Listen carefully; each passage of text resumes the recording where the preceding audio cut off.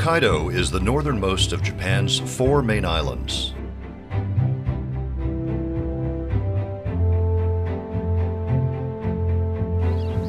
It's a land of volcanoes and hot springs and lush green landscapes. The rich coastal plains provide a haven for a large variety of wildlife, and long tracts of crops bloom in the rich volcanic soil. It's also home to one of Japan's most familiar animal faces, the Hokkaido red fox. The red fox is usually a solitary animal, hunting and sleeping alone. But when it comes to raising the young, it's a family affair.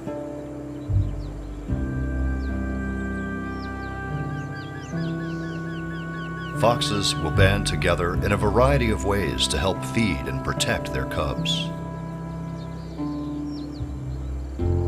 In just a little over six months, these young pups will have to leave the family circle to survive on their own in an environment that, despite its beauty, can be harsh and dangerous.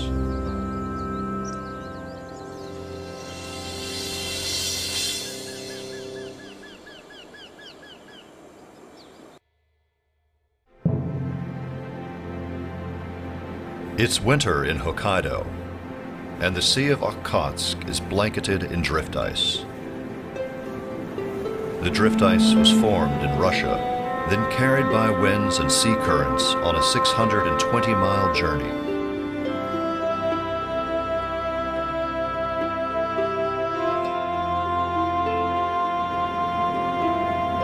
Minimum temperatures in these winter months can drop to 4 degrees below zero, but life here flourishes.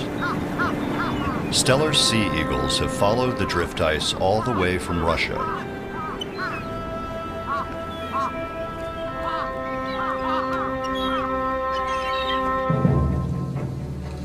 Hokkaido sika deer are abundant on the island, forming herds a hundred strong.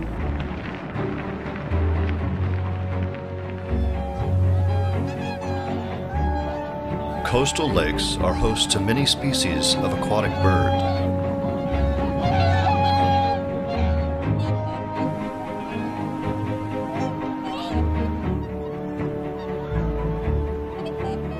Red crowned cranes, a Japanese symbol of luck and long life, are among the rarest cranes in the world.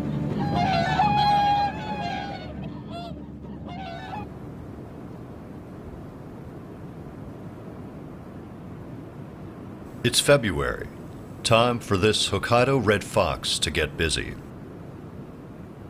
It's nearing the end of the mating season, and this female, or vixen, needs to find a partner. She spreads her scent all over her territory to advertise her availability to interested males.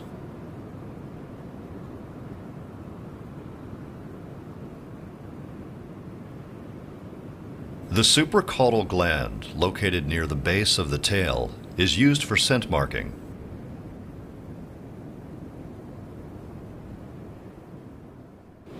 This vixen is in luck.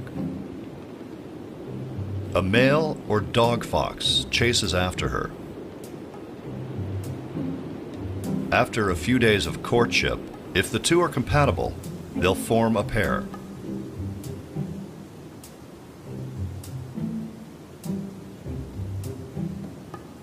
After mating, the male usually sticks around to help raise the pups. But that's not always the case. Yuki, a female, is by herself. In around two months, she'll give birth. But it's not her first litter. The average female gives birth about four times throughout her life. Yuki may no longer have a mate, but she's got other family.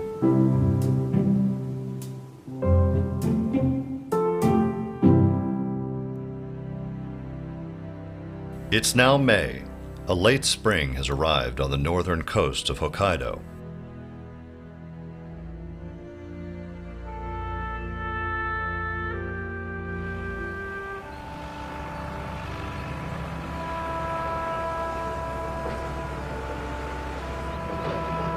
On a small rise of land, at the edge of a windbreak, a Hokkaido red fox emerges. It's Yuki. She's built her den into the side of a small hill. All the tunnels are connected inside. In some red fox dens, these tunnels can go as deep as 8 feet.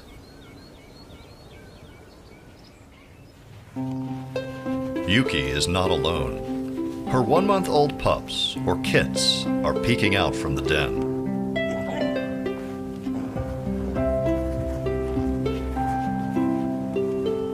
Red fox litters average about four to six pups. Yuki's got 10.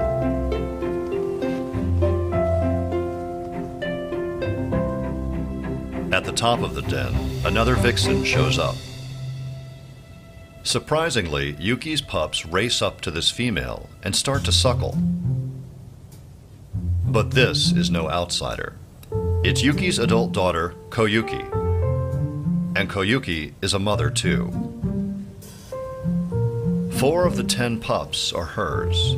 Mother and daughter have joined forces to help raise this large family. It's not uncommon for a young female who has just had her first litter to return home for help. Just like humans, a grandmother can calm the fears and anxiety of a daughter. And without a male around, Yuki could use the help of another adult.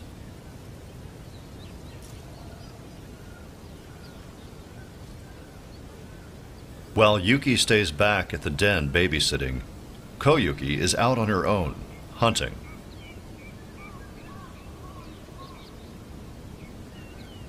Red foxes have a highly varied diet. They feed on rodents, birds, reptiles, and fish, as well as many types of plants and grasses. A fox's hearing is very acute. They can hear the squeaking of a mouse 300 feet away.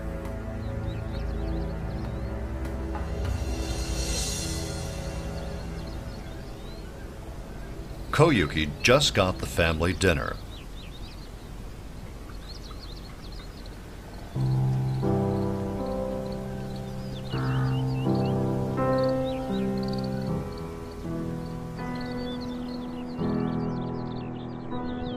The spring air gradually warms the damp earth.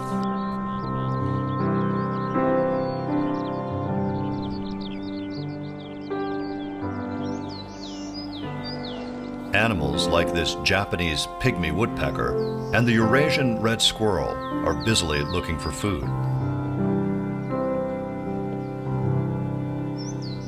Hokkaido sika deer fill the woods and prairies, enjoying the sweet young grass.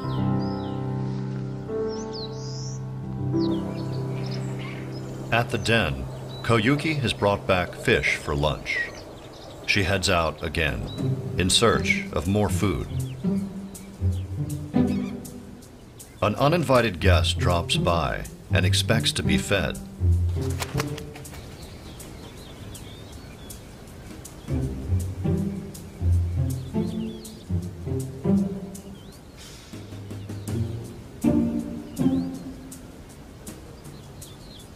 Scared pups dive for cover. Lunch is over for the pups. Alerted by the commotion, Yuki checks on the pups. She senses a far greater danger hovering above the den. A white-tailed sea eagle has spotted the little ones. Yuki sounds the alarm. The pups know exactly what to do. Adult foxes are too big for the sea eagle, but the pups are vulnerable to an attack.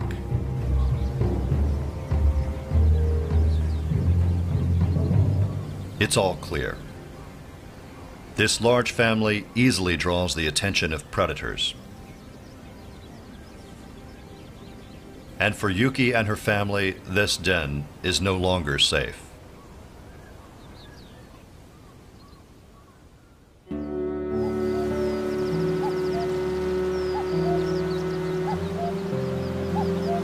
It's June.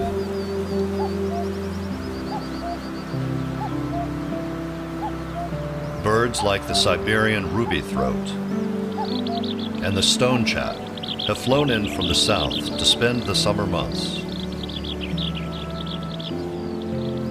But the den is silent.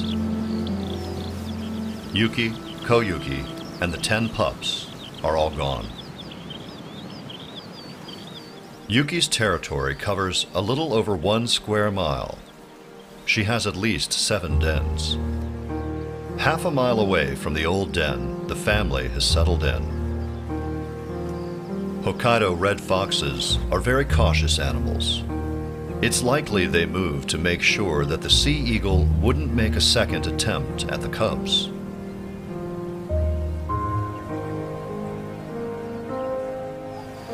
The pups are growing day by day. They are taking their first exploratory steps out of the maternity den.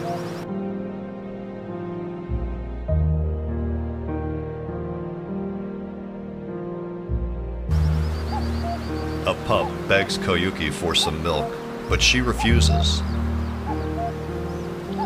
It's time the pups were weaned.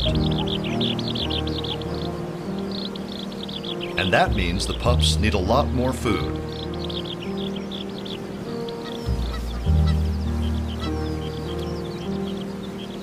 The new den is close to a lake.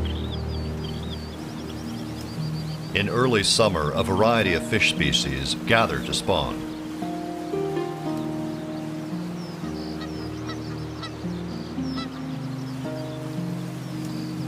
Yuki is an expert at fishing, and the shallow water gives her an advantage. She's caught a big one, almost two feet long. When food is plentiful, red foxes often kill more than they need, hoarding the extra by burying it in the ground. But with 10 young mouths to feed, the siblings even fight over food.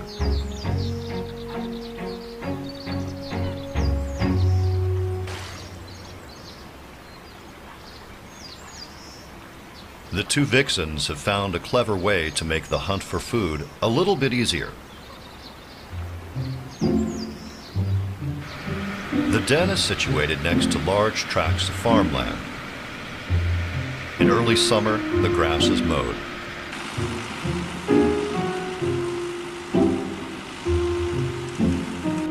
Mower blades make quick work of any chicks or mice hiding in the tall grass, providing easy kill for the red foxes. It's just a matter of gathering the spoils. Back at the den, it's Koyuki's turn to babysit.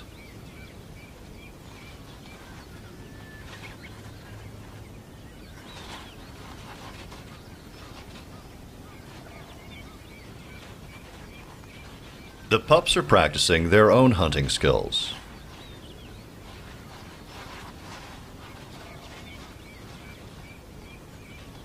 And they're learning to hold their own, even if it's just fighting off their siblings for a bigger piece of fish.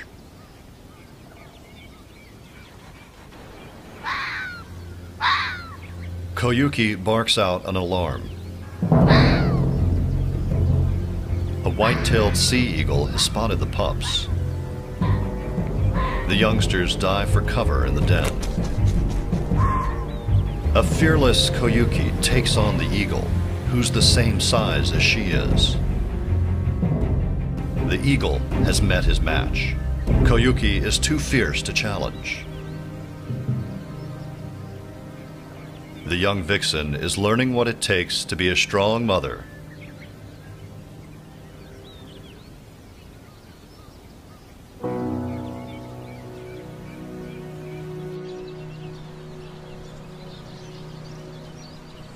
It's July, and some 40 species of flower are in full bloom.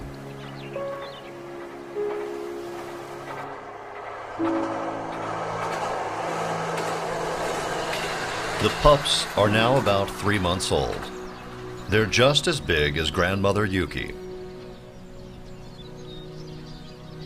Koyuki is back with a big catch, a carp. The pups aren't ready to hunt on their own. But they are hard at practice.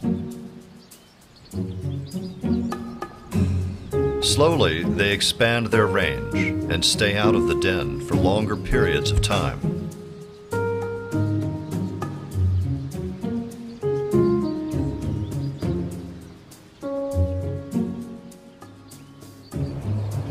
Sometimes they even venture into human territory.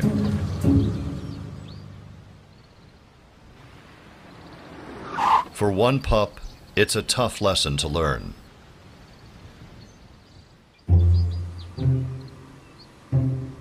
There are other surprises.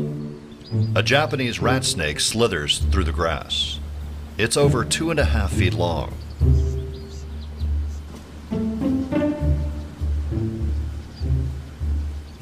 The pups have never seen a large snake. They're not quite sure what to do. Snakes make a good meal for red foxes. This one's not venomous, but there's a trick to how to catch it. Koyuki arrives to show the pups how. It's all in the timing.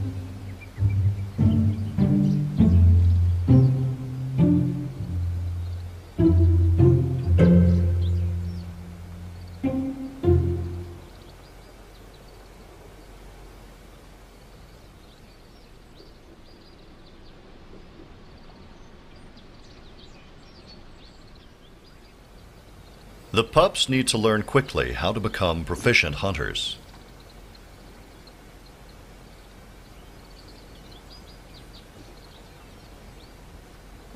It won't be long before the only food they get will be the food they catch themselves.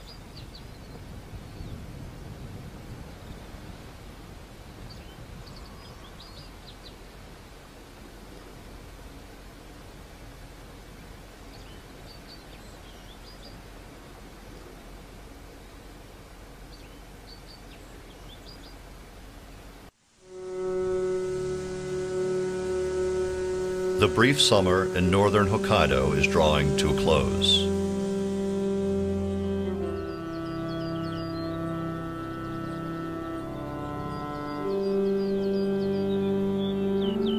The pups are nearly six months old. Now, when the pups beg Koyuki for something to eat, Koyuki ignores them.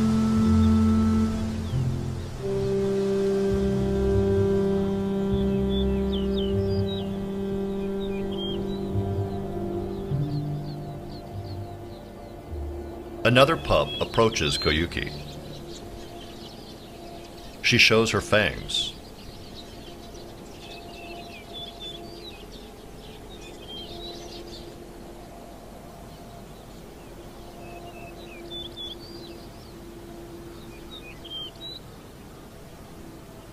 It's a clear signal to the pups that the time has come to leave the den. A grown-up pup is just like any other adult fox. She drives the pups out from her territory to encourage them to start their own journey. This is her last duty as a mother.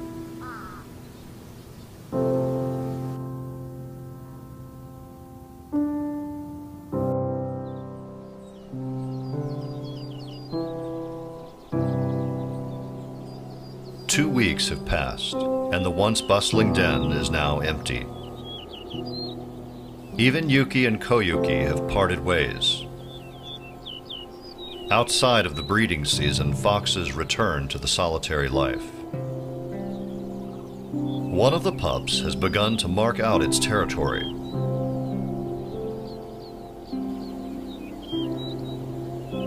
Another pup attempts to capture a mouse, but it's a miss. In the wild, more than half of the fox pups die in their first year of life.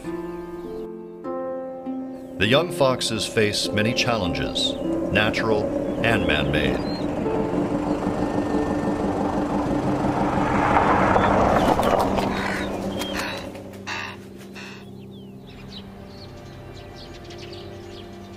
This fox didn't make it. It was hit by a car trying to cross the road. But it's not one of the pups. It's Koyuki. One of the pups shows up. It wants desperately to revive its mother.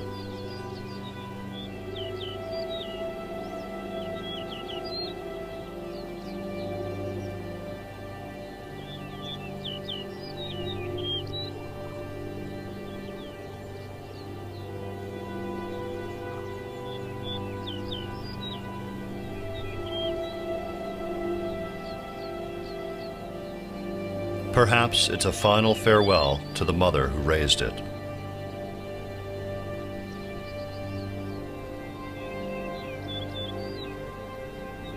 Finally, the young fox gives up and disappears into the bush.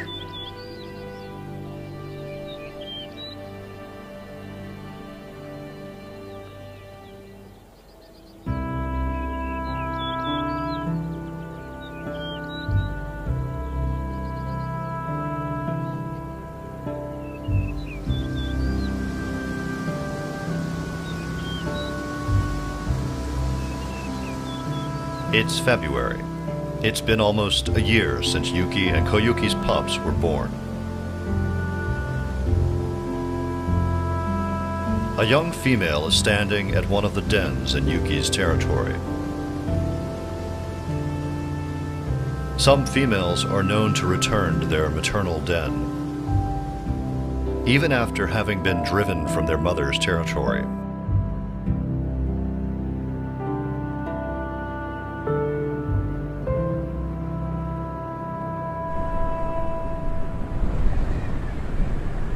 This young fox, Kohotu, is one of the pups raised by Yuki and Koyuki.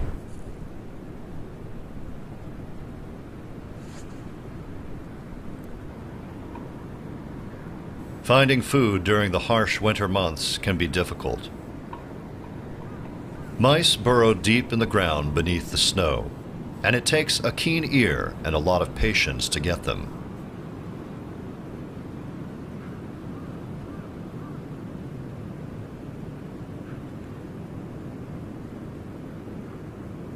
Straining her ears, she pinpoints her prey.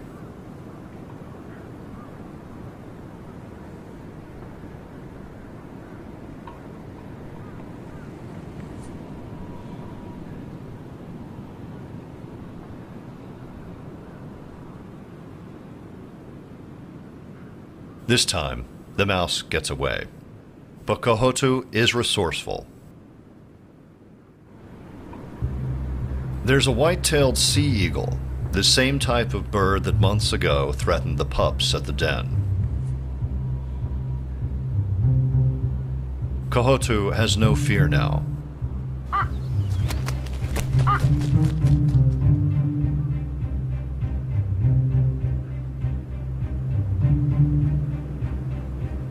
Kohotu gets her paws on the eagle's leftovers.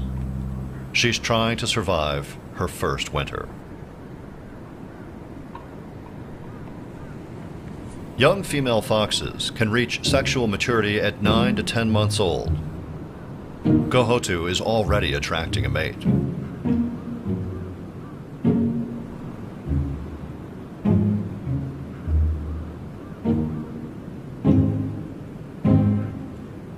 This time of year, males roam from one female's territory to another.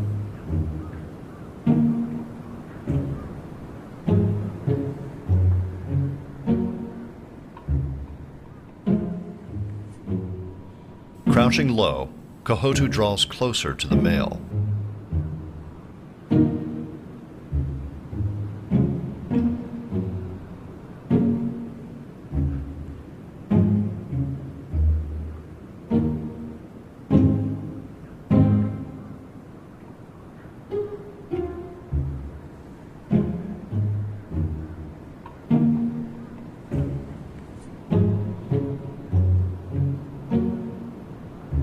Courtship doesn't quite work out, and the two part ways.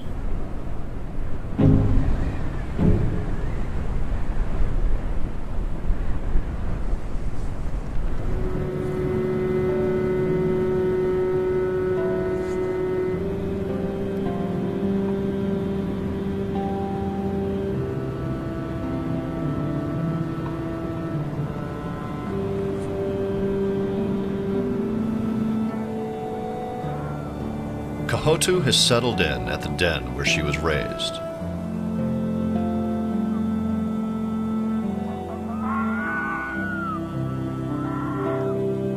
The wail of a fox grabs her attention.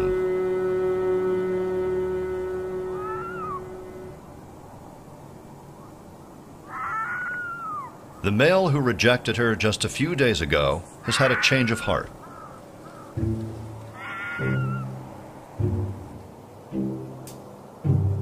He cautiously approaches Kohotu. And she doesn't try to scare him off.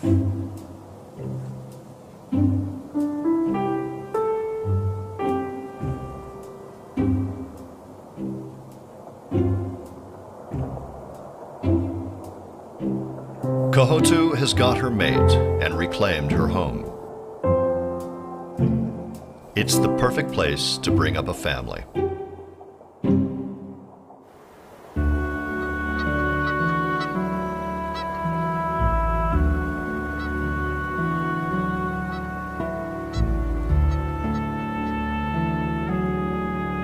Perhaps Kohotu and one of her siblings will join forces